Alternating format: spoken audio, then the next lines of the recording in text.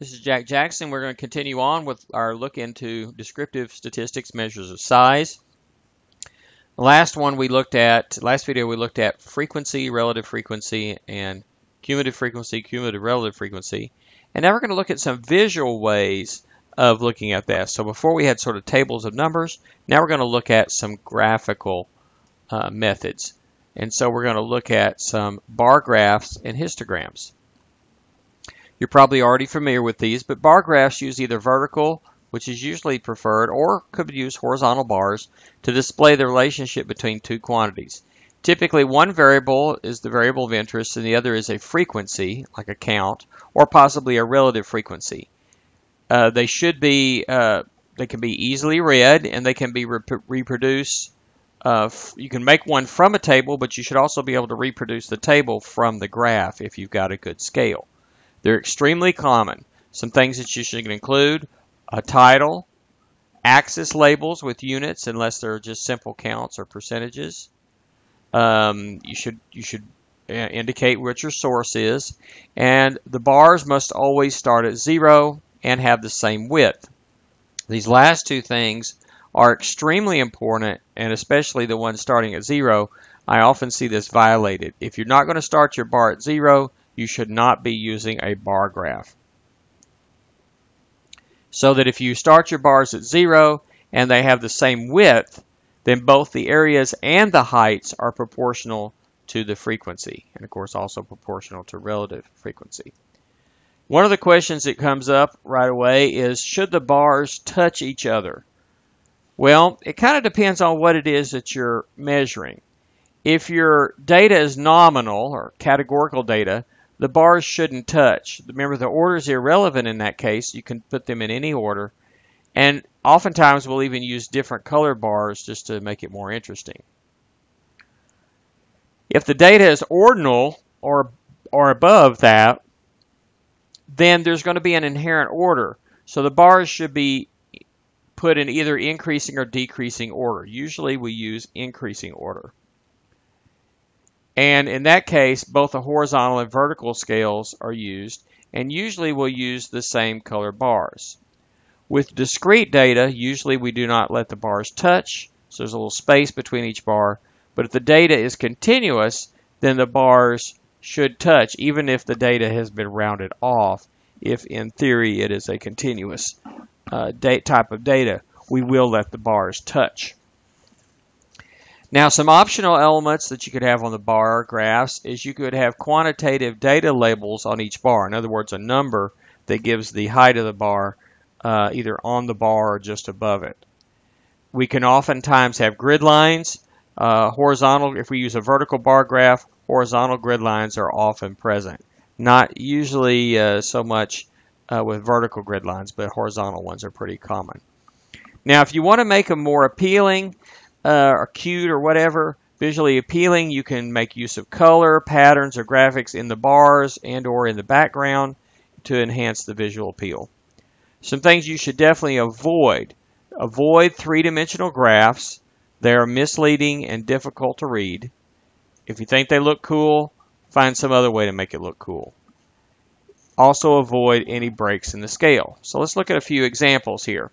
Here's one with nominal data Notice the order is irrelevant, so the bars don't touch, and the bars vary by color. That's optional. But for example, that notice the title, Make of Automobile Driven by Students in a Particular Class, Class 1. Uh, this particular one, they had Fords, Toyotas, uh, General Motors cars, and Hondas, let's say, for example.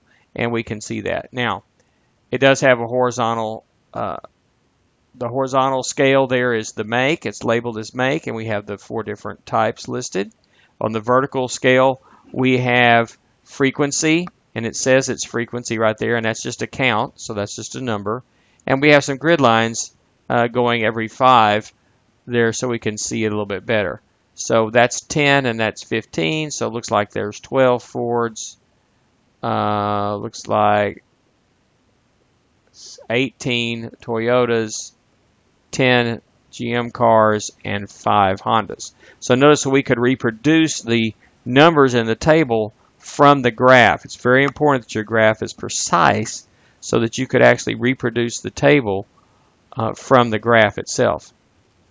Here, the next one is an example of ordinal data. It's a Likert scale, increasing order of satisfaction. The bars don't touch this time because uh, it's they're discrete chunks. And notice it's it goes from very satis dissatisfied, somewhat dissatisfied, neutral, somewhat satisfied, and very satisfied is the satisfaction level. Say with service, it's whatever, something. And again, we have our frequency here, and we have our horizontal lines. This one, I decided to draw a little box around this part here, which I think makes it a little bit uh, cleaner to look at. And this one also has uh, the optional uh, point of putting the data labels up here above the bars. So you can see visually this is 10, but it also says it's 10 right there. So it's essentially basically recopying part of the table right there, actually the whole table really, um, on top of the bars. It's probably appropriate to use the same color bars because they're all basically measuring the same thing, just different levels of satisfaction. Uh, the purple one up here, purple bars, this is the number of defects per item in a particular sample. Okay. And it looks like this is a sample of, uh, okay, I think I want something else. Let me make a slight change to this one. Okay, this is better. The, the uh, lowest bar here was supposed to be at zero.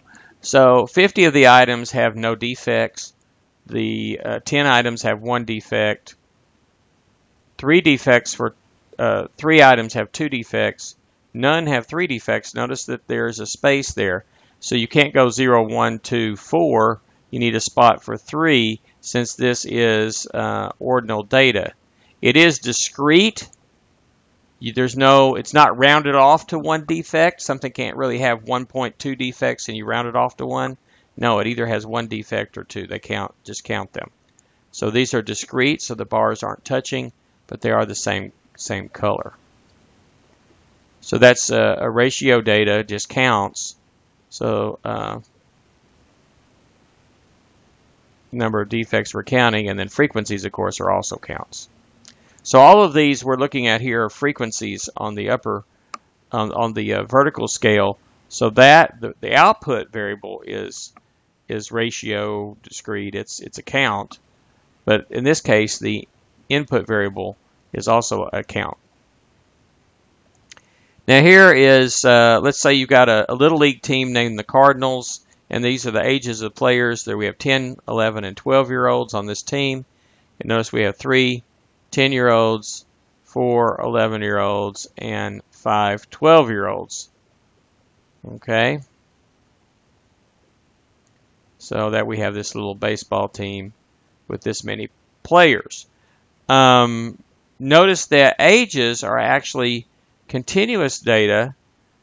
Um, now we, you know, we, we say our age changes on our birthday, but in reality we get older every single day. So these ages are been rounded off. So in this case, the bars actually touch. Technically speaking, the 10 year 10 because the round we, always round ages down. You can be you can be 11.99 years old, but you don't say you're 12 until you're until you've actually made it to that to your birthday. So, um, technically speaking, the 11 should be right there, and the 12 right there at the left end, and the 10 right here at the left end of that bar. So, because that's what it is, it's 10, and anything 10 point something is rounding down to 10. But it's okay to also label them like this.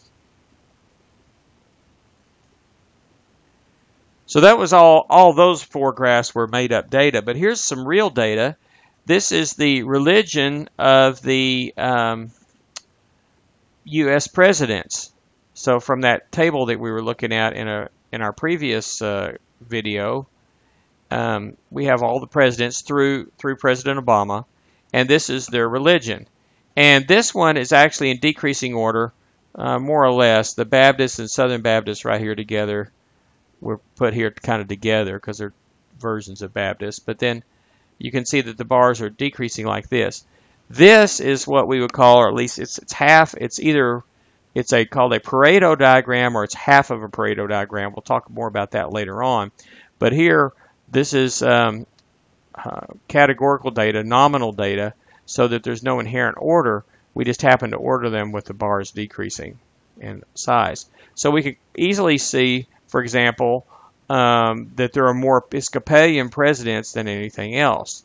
Presbyterians next, then Unitarian, uh, Unitarian and Baptist, if you put these together, and then uh, Disciples of Christ, Quaker, and Reformed Dutch, a couple of those, and then one each of these of these others out here. And so you can kind of see um, see what the religions are.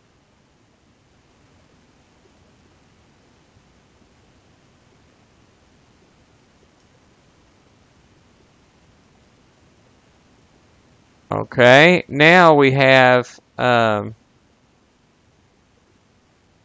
whoops, that's back, went backward. Yeah. Oh no, here we go. This is the this is some data that we had for grades earlier from our previous video. And I want to make an exercise out of this. What I'd like you to do is get you a piece of graph paper, a straight edge and a pencil, and very carefully construct a frequency histogram for the data above. Now, a histogram is just a bar graph where the output is a frequency. Okay, so it's it's basically everything we've been looking at. They're all histograms. So uh, so go ahead and do this. Remember, this is ordinal data, so you want to put the bars in that in the order.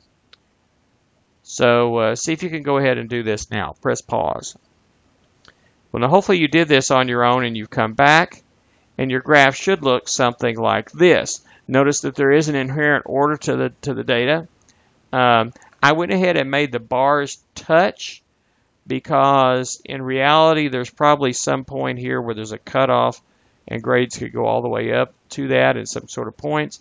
Technically, I guess they are really discrete categories, so it would be okay if the bars uh, had small gap in between. But you would see this is this is what we see here. So now we can look at this and see some basic shape of the, of the distribution. We see a lot of C's, quite a few B's, not so many of the other grades. So it's kind of higher in the middle, comes kind of down on the ends. This is a typical kind of graph shape that we'll see a lot. We might call this a, uh, a mound shape where it's kind of mounded up in the middle and then kind of trails off on both sides. Um, okay, so now take the same data and uh, you can see the actual numbers here again on this graph because I put the data labels as well as a grid line for every number. So you should be able to read those easily without the data labels, but they're also there as well. And use this to make a relative frequency histogram for this data. Okay, go ahead and do that on your own. Press pause now. Well, here we are back again, and we see that we have the frequency histogram well, it turns out that a relative frequency histogram looks basically the same. It's just got a different scale here. Here I have the percentages at least rounded off to a whole number. Letter grade here. We have a title there. And then we have some percentages here. So notice that if you wrote the, put those side by side, the graphs are exactly the same. But what we have is two different scales. Okay, so over here on the frequency histogram, the scale is the actual count, the actual number of items. On a relative frequency, we have the percentages. In fact, sometimes you'll see those put together on a single graph like this, and you'll have both scales. You'll have the frequency scale on one side and the relative frequency scale on the other side. Now, be a little careful here because because the um, well, let's see what we got here. Because the total was total was 18, right? No. For this one, let's see, what is the total? 10. Yeah, 18. Um, it turns out that the grid lines here going up by 5% and the grid lines going up by 1 don't exactly match. Okay? So, for example, notice this 3 is right on a grid line here, and it's 17, a, a roughly 17%, which is above the grid line of 15%, but below the grid line for 20 percent. So the grid lines are not matching up exactly. So if I go on to this one where I put them both, I can either put the grid lines for the percentages or the grid lines for the whole numbers, but I'm not going to want to put both because they're not going to line up exactly. Some of them do. I mean, 9 and 50% is perfect, and of course 0 is 0% no matter what. Another thing that you can do is is put the uh, maybe put the scale. We could go. Another option would be to do this. Um, go back here and say do this one just like I have it here with the actual counts, but then for the labels, label them with the relative frequencies. So put the percents there, or or do the opposite over here. Do this and have the percentages read off of this, and then on the top just put the actual counts. So you can do that a couple different ways, but notice that the basic graph is the same either way. So that gives you an idea of how to work with uh, histograms, which is just a bar graph where the output is frequency or perhaps a relative frequency. Gives us a nice visual way of seeing these important concepts.